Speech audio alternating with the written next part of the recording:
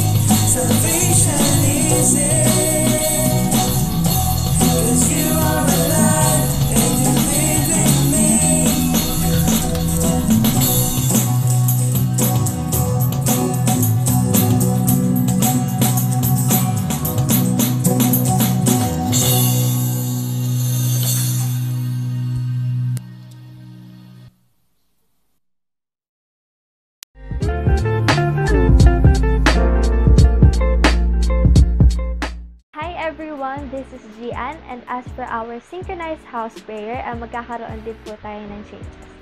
Instead na magbigay kami ng mga Bible verses na inyong babasahin at i-discuss with your families every day, we'll be giving out one book from the Bible and the number of chapters to be read every day will also be announced. Ina-encourage namin kayo to read the chapters on your own. family sharing and discussion ay magaganap tuwing 7pm. Share ninyo ang inyong mga thoughts at ang mga verses na tumatak sa inyo sa ating Facebook group kasama ng picture ng inyong family.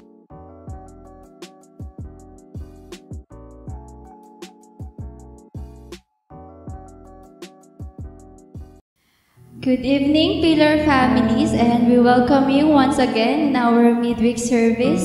And tonight, um, ang gusto ko lang pong gawin ng lahat is to remember yung mga ginawa ni Lord sa atin for the past four months ng pandemic. And beyond that, yung mga ginawa rin niya before yung pandemic sa buhay natin.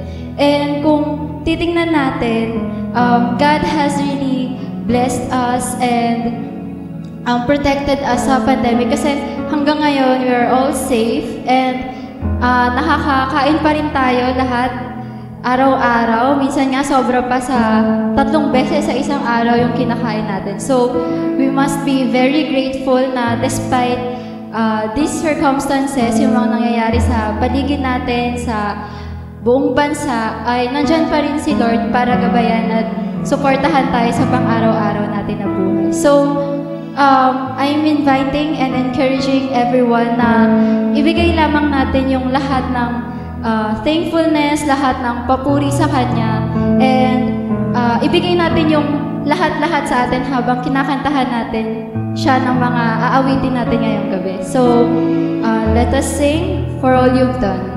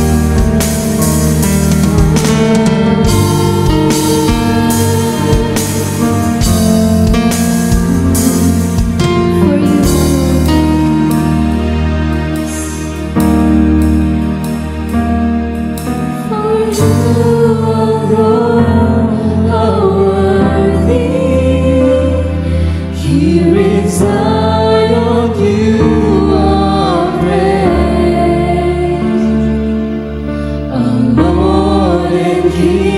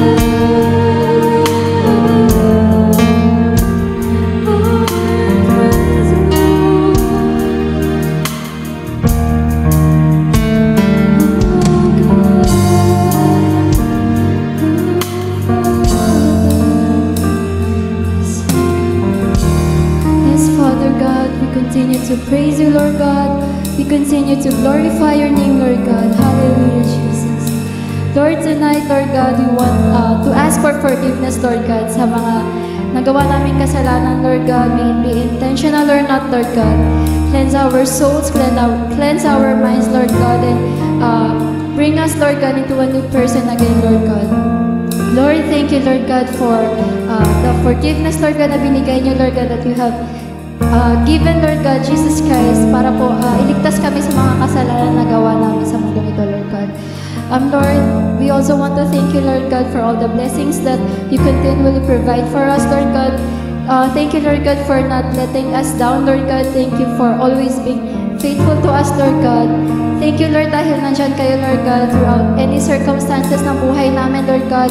May it be sa kasiyahan, Lord God, sa kagalahan, Lord God, or sa pinaka uh, ibaba, Lord God, ng uh, mga emosyon namin, Lord God. We want to thank you for that. We want to thank you for your unconditional love, Lord God. Thank you that you have always been with us, Lord God, that you are there, Lord God, for everything.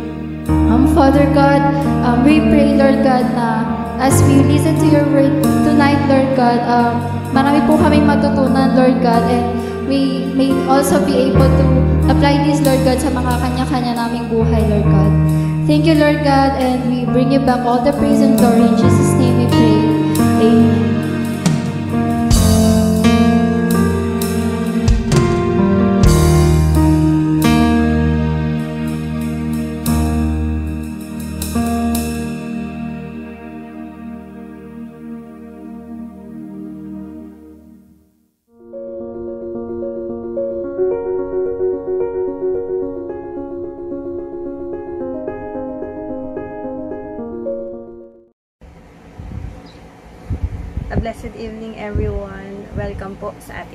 Service. It's my honor and privilege po na magsalita sa inyo ngayon at ihayag yung salita ng Diyos at ang kabutihan niya sa bawat isa.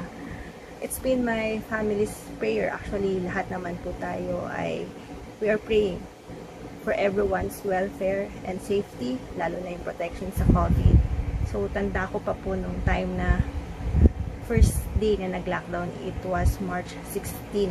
Hindi ko po makakalimutan kasi birthday ni nanay yon. More than 4 months na po tayo na nasa community quarantine.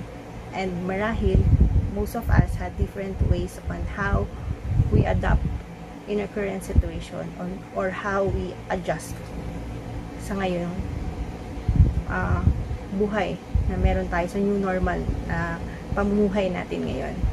So, for me po, uh, I'm very grateful and blessed na normal pa rin po yung work namin, yung company namin. They allowed us to work until magkaroon na ng vaccine and naka-work from home po kami ngayon. Siguro po marami pong nag-work sa NCR ang nakaka-relate ang sarap po ng buhay ng nag-work from home.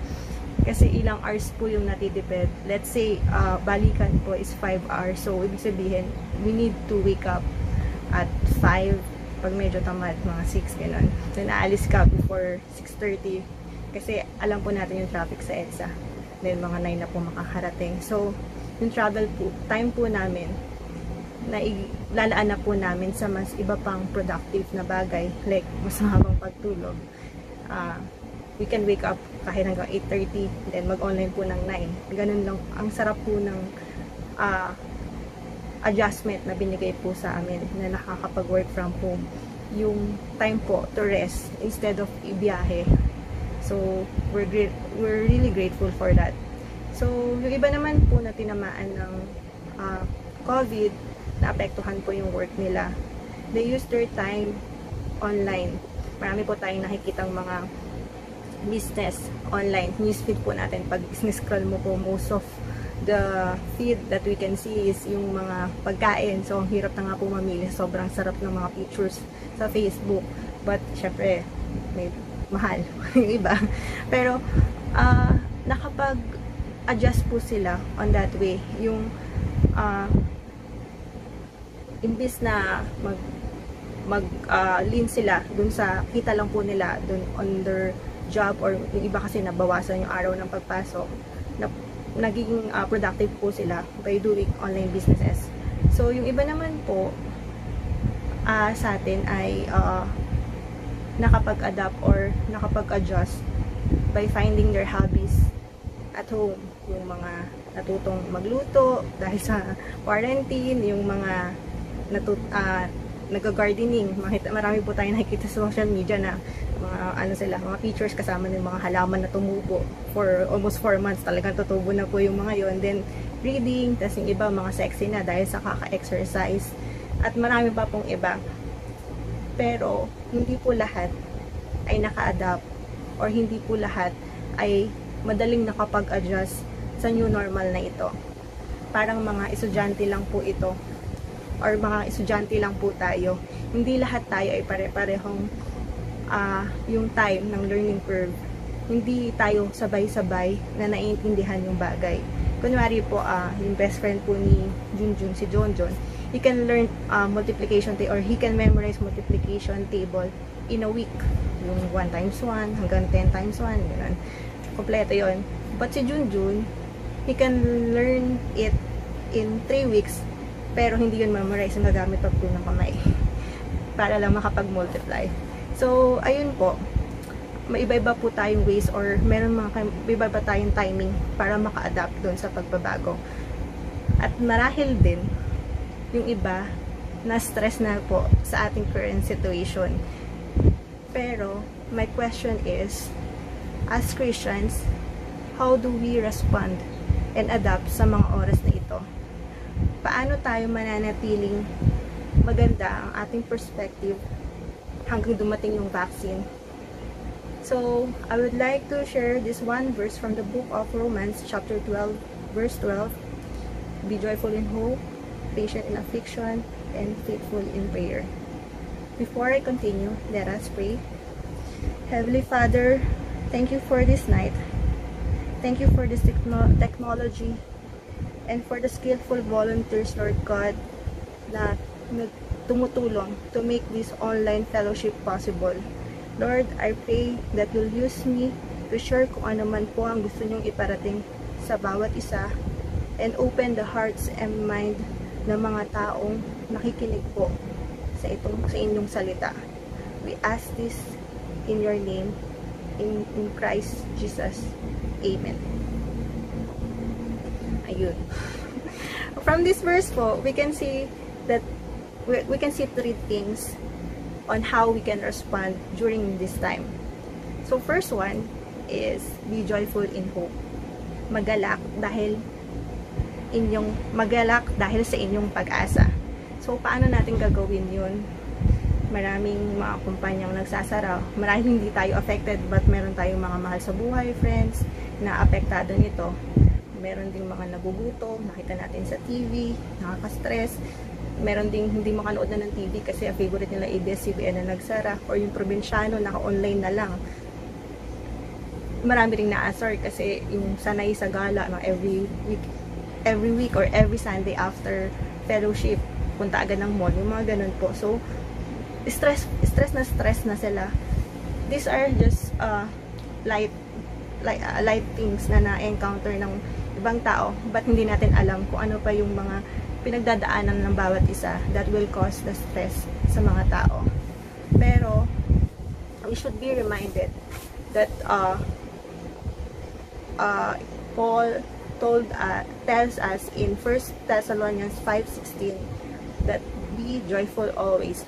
Sa kabila ng mga nangyayari ay dapat magalak tayo. Uh, Paul told these things doon sa mga taong persecuted during their time. We all know po kung gaano po kahirap yung maging Christian ng panahon nila.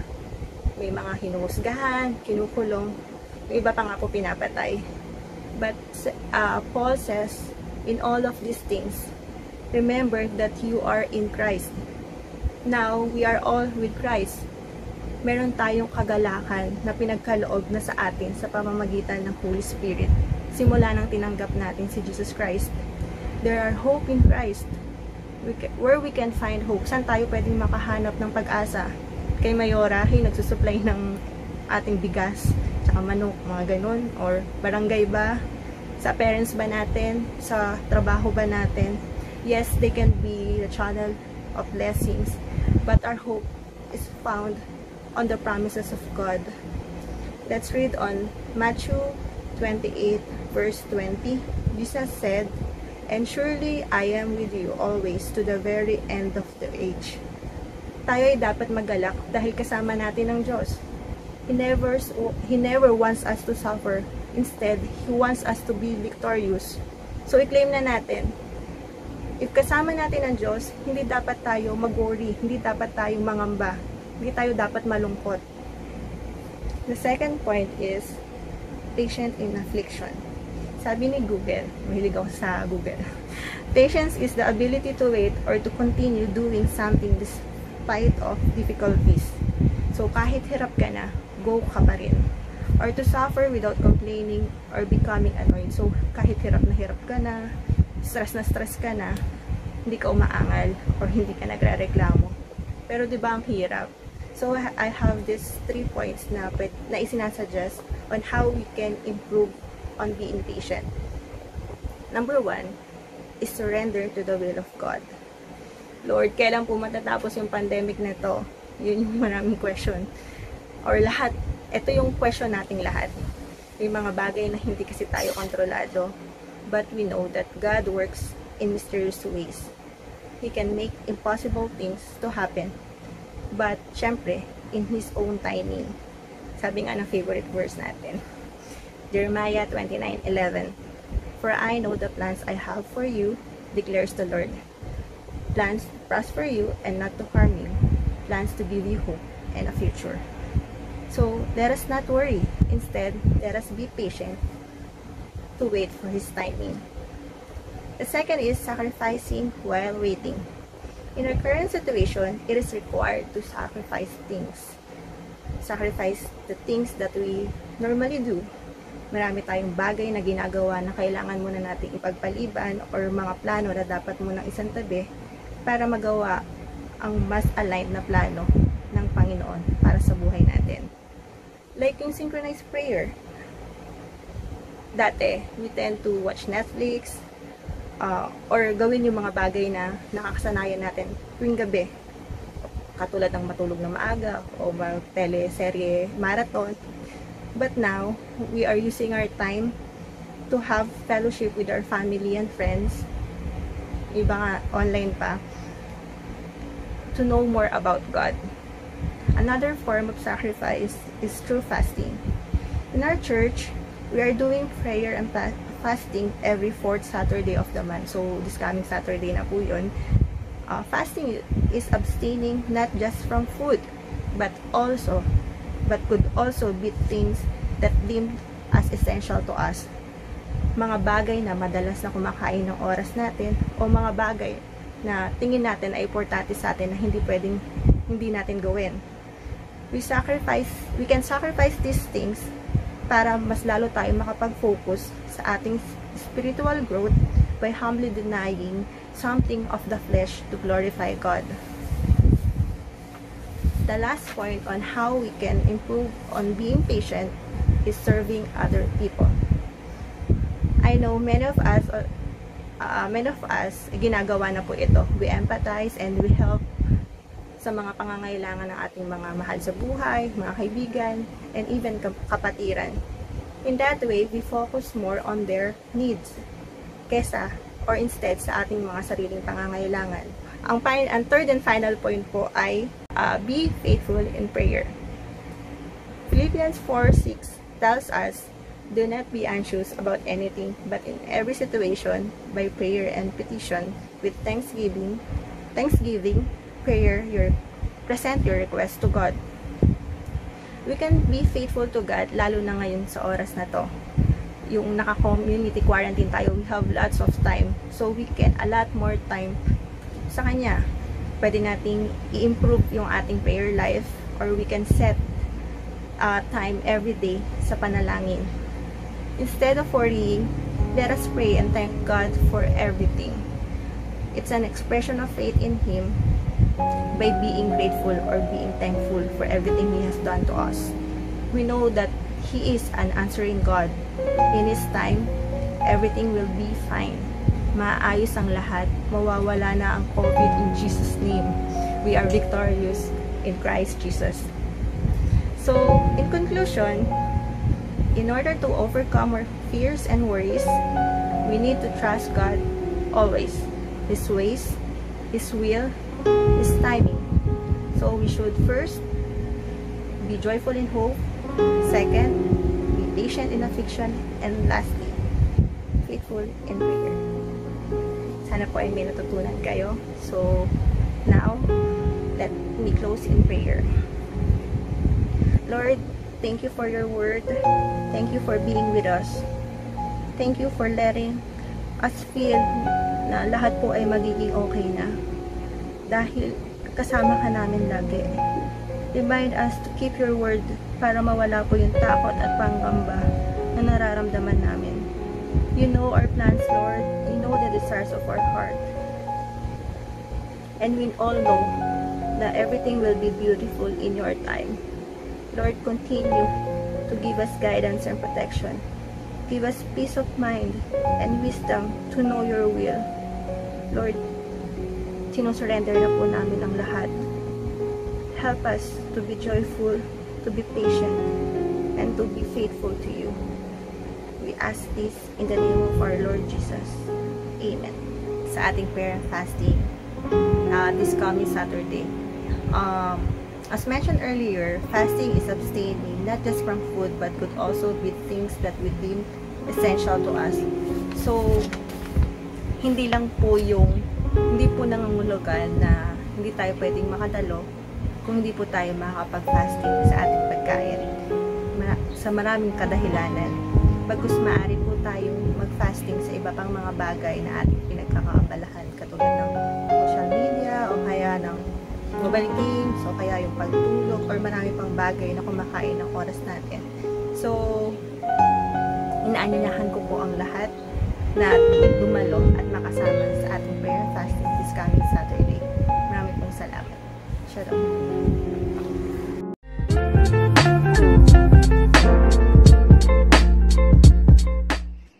Morning po sa lahat. Ako si Elijah Kalayag at nandito ako para ipaalala ang ating 5 prayer points. First, let us pray for an end to this virus. Alam naman natin na makapangyarihan ang ating Panginoon at kaya niya gawin ang lahat. Second, let us pray for our government leaders na bigyan sila ng gabay ng ating Panginoon.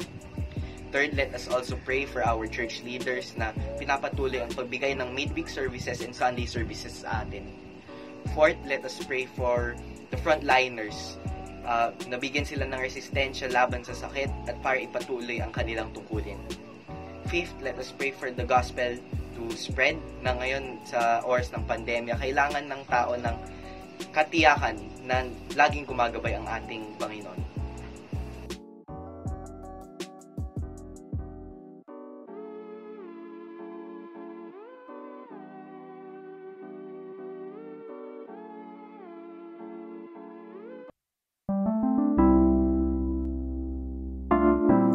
Announcements, our services will still be happening online until further notice. Our Sunday services at 9 a.m. Our midweek services every Thursday at 7 p.m. And our prayer and fasting every fourth Saturday of the month at 9 a.m. You may watch them premiere live on both our Facebook page and our YouTube channel. Our breaking of the bread happening every first Sunday of the month right after the word delivery. Discipleship group discussions will still push through online. Do coordinate with your DJ leaders to set up an agreed schedule. We also have our synchronized house prayer happening every night at 7 p.m. Scripture or book of the day will be posted on our Facebook group. For more updates, you may follow us on these accounts. For Facebook, facebook.com slash jcpftcpillar or facebook.com slash jcpftcbbo. For our Instagram, it's at jcpftc. And for our YouTube channel, it's Pillar Worship. Now let us declare our mission and vision. Our mission is to glorify God by reaching out and mentoring families, producing spirit filled leaders, and Christ centered communities. Glorify God, disciple families. And our vision is, by God's grace, to become an influential disciple making church of Christ centered families in the Philippines and beyond. Now let us speak blessings to one another. The Lord bless you and keep you. The Lord make his face shine upon you and be gracious to you. The Lord turn his face towards you and give you peace. God bless everyone.